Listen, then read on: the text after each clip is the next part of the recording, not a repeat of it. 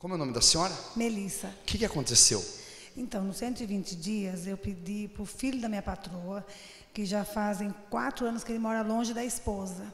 Ele é procurador da República em Três Lagoas. E a esposa dele é procuradora da Fazenda em Campo Grande.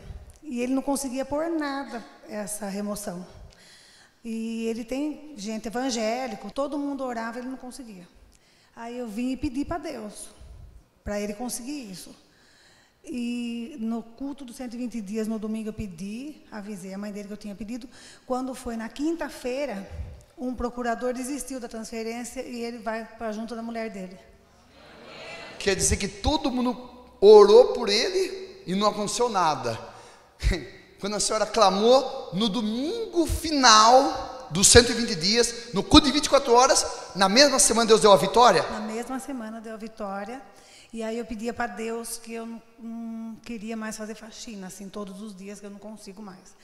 E aí eu falei, o que, que eu poderia fazer em casa, né? Eu tinha feito um curso de pão de mel há mais de cinco anos atrás. Aí eu fiz e dei para o povo experimentar.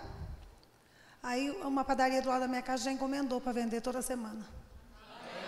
Quer dizer que a senhora está partindo para ser dona do próprio negócio? Tô. E eu não acreditava. A senhora não acreditava que a senhora podia ter um, um próprio negócio? Não. E por que, que agora a senhora acredita? Porque agora eu sirvo Deus. E aí, agora eu acredito que eu vou conseguir muito mais. Ô, dona Melissa, a senhora falou para mim um dia que a senhora já frequentou por um espaço de tempo uma igreja evangélica. E a senhora não tinha essa fé que a senhora tem agora na Paulista? Não. Nem um pouco. Por que, que aqui a senhora tem uma fé mais forte? O que, que tem aqui que faz a senhora crer mais? O que, que tem? Ah, eu aprendi aqui bastante. Eu aprendi a exercitar a fé que eu tinha e eu não sabia usar. Então agora senhora é dona do próprio negócio. Senhora está feliz na Paulista? Estou. E eu agradeço primeiramente a Deus, ao Senhor e a minha tia, que se não fosse na minha casa me buscar, hoje eu estava morta. Se a senhora não trouxe, a senhora estava morta? Uma semana. Mas, mas, morta, morta mesmo, de, de caixão? No caixão. Sua vida era assim mesmo? Era. Era essa desgraça? Desgraça pouca. E, e ela não sabia de nada, assim, o que estava acontecendo comigo. Aí o Espírito Santo falou para ela, vai lá na sua sobrinha agora, sai daqui, vai lá e traz ela. Trouxe no mesmo dia à tarde.